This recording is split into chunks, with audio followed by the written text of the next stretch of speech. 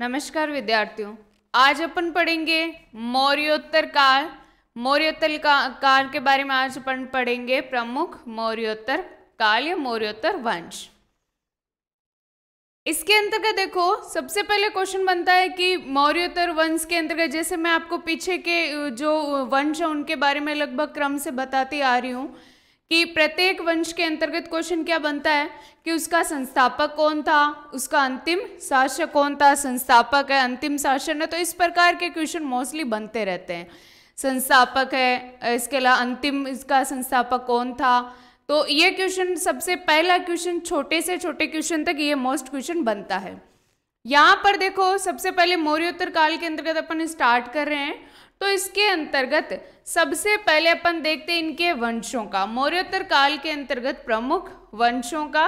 तो इसके वंश के अंतर्गत देखो सबसे पहले सुंग वंश सुंग वंश के अंतर्गत सुंग वंश का आ, क्या सबसे पहले कि इनका जो काल है वो कहाँ से कहाँ तक चला था?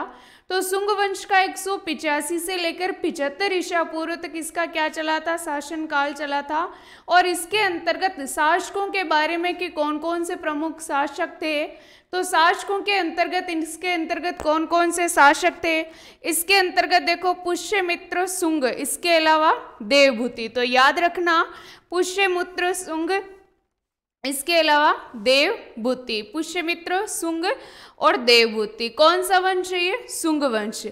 पुष्यमित्र, सुंग जिसने अंतिम मौर्य सम्राट किसकी वृद्धत की क्या की थी? हत्या की थी। अंतिम मौर्य सम्राट वृद्धत की जिसने हत्या की थी।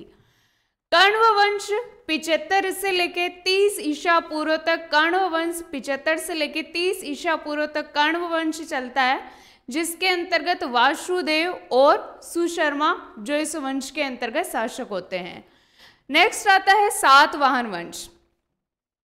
सातवाहन वंश के अंतर्गत, सातवाहन वंश के जो है वो तीस ईसा पूर्व से लेके 203 ईस्वी तक चलता है। इसके अंतर्गत शासकों के अंतर्गत कौन कौन से? तो इस वंश के अंतर्गत शासकों के अंतर्गत जैसे श्रीमुख है, सातकर्णी प्रथम है हाल है। गौतमी पुत्र सातकर्णी, वशिष्ठ पुत्र पुलवामी, यज्ञश्री सातकर्णी, ये इसके अंतर्गत क्या हो जाते हैं? शासक तो सबसे पहले मैं आपको यही क्वेश्चन बता रही हूँ लगभग कि वंश, इसके अलावा वंश का शासक तो देख रहे हैं। क्वेश्चन ऐसे भी आता है जैसे कि वासुदेव कौन से वंश का संस्थापक है? वासुदेव कौन से वंश का होता है? सुशर्मा का संबंध कौन से वंश से है? सिमुख का संबंध कौन से वंश से है? तो इस प्रकार के क्वेश्चन शासकों के अंतर्गत बनते हैं। तो अभी मैंने आपको डिटेल बताया कि इनके बारे में, सुंग वंश, कर्ण वंश और सातवान वंश के बारे में। नेक्स्ट आगे पढ़ते हैं। अब इनके अंतर्गत देखो डिटेल से पढ़ लेते हैं थोड़ा। सुंग वंश के अंतर्गत सुंग वंश का संस्थापक किन्हें माना जाता है? सुंग वंश का संस्थापक किसे माना गया है? तो सुंग वंश का संस्थापक पुष्यमित्र सुंग। सुंग वंश का संस्थापक याद रखना। सुंग वंश का संस्थापक किन्हें माना जाता है? पुष्य मित्र सुंग को, और इसके मैंने अभी आप लोगों को ये बताई थी कि इसने क्या किया? मौर्य वंश के अंतिम शासक, अंतिम मौर्य सम्राट जिनका क्या नाम था? वृदत तो अंतिम मौर्य सम्राट वृदत की इन्होंने क्या की थी? हत्या करके ये शासक बना था। तो पुष्यमित्र सुंग अंतिम मौर्य सम्राट जिसका क्या नाम था? अंतिम मौर्य सम्राट वृदत वृदत की हत्या करके ये शासक बना था। इनके दरबारी देखो, पुष्यमित्र सुंग के, इनके दरबारी का नाम तो इनका दरबारी जिसका क्या नाम था? पंतजलि पुस्तक का क्या नाम था? महाभाष्य, जो कि व्याकरण से संबंधित तो इनकी ये पुस्तक का नाम था। याद रखना, इनके दरबारी का क्या नाम था? पुष्यमित्र सुंग के दरबारी का नाम। अच्छा क्वेश्चन नहीं है, मोस्ट क्वेश्चन बनता है दरबारी का नाम। इसके अलावा इसने अश्वमेघ यज्ञ करवाया था। तो अश्वमेघ यज्ञ का इन्होंने क्या करवाया था? आयोजन करवाया था। अश्वमेघ यज्ञ इन्होंने करवाया था। अश्वमेघ यज्ञ करवाया। याद रखना क्वेश्चन सुंग काल में स्तूपों के निर्माण में, स्तूपों के निर्माण के अंतर्गत किसका प्रयोग? पाषाण का प्रयोग इसके काल में होने लगा था। सुंग काल के अंतर्गत स्तूपों के निर्माण में पाषाण का प्रयोग होने लगा था। फिर उसके बाद में आता है देवभूति, जो कि अंतिम शासक होता है। सुंग वंश का अंतिम शासक जिनका क्या नाम था? देवभूति और सुंग वंश के संस्थापक का क्या नाम है? तो सुंग वंश के संस्थापक जिनका क्या नाम है? पुष्यमित्र सुंग। नेक्स्ट वंश आता है कौन सा? कण्व वंश कण्व वंश कण्व वंश के संस्थापक का नाम तो कण्व वंश का संस्थापक जिनका क्या नाम है? वासुदेव। वासुदेव को कण्व वंश का संस्थापक कहा जाता है कण्व वंश का संस्थापक। और इस वंश का अंतिम शासक जिसका क्या नाम है? इस वंश का अंतिम शासक जिसका क्या नाम है? सुशर्मा सुशर्मा इस वंश का अंतिम शासक। तो कर्ण वंश का संस्थापक कर्ण वंश का संस्थापक है वासुदेव। और इस वंश का अंतिम शासक जिसका क्या नाम है? अंतिम शासक जिसका नाम है सुशर्मा याद रखना सुशर्मा उसके बाद में अपन पढ़ते हैं। सातवाहन वंश। सातवाहन वंश का सबसे अच्छा क्वेश्चन, सातवाहन वंश के अंतर्गत मोस्ट क्वेश्चन पहले यहाँ पर ये बनता है कि राजधानी राजधानी पूछी जाती है प्रतिष्ठान, जो प्रतिष्ठान या पैठान है महाराष्ट्र। तो शातवान वंश की राजधानी शातवान वंश की राजधानी कौन सी? तो शातवान वंश की राजधानी याद रखना कौन सी? प्रतिष्ठान या पैठान महाराष्ट्र होती है। सिमुक को सातवान वंश का क्या माना जाता है? संस्थापक। तो सातवाहन वंश का संस्थापक सातवान वंश का संस्थापक कौन है? इस वंश का संस्थापक किसे माना जाता है? सिमुक को सातवाहन वंश का संस्थापक माना जाता है। सातकर्णी प्रथम सातकर्णी प्रथम, जो कि सातकर्णी प्रथम इसके अंतर्गत देखो, इसकी जो पत्नी है, जिनका नाम क्या था? पत्नी का नाम था नागनिका नागनिका ने नाना घाट अभिलेख, नाना घाट अभिलेख लिखवाया था। अच्छा क्वेश्चन बनता है ये सातकर्णी प्रथम इसकी पत्नी का क्या नाम था? नागनिका। और इन्होंने नाना घाट अभिलेख लिखवाया था। हाल। पुस्तक इसकी, जिसका नाम याद रखना, हाल की पुस्तक पुस्तक का नाम याद रखना, क्या नाम है? गाथा सप्तशती, जो कि कौन सी भाषा में? तो कौन सी भाषा में ये? प्राकृत भाषा में। याद रखना, कौन सी भाषा में? प्राकृत भाषा में।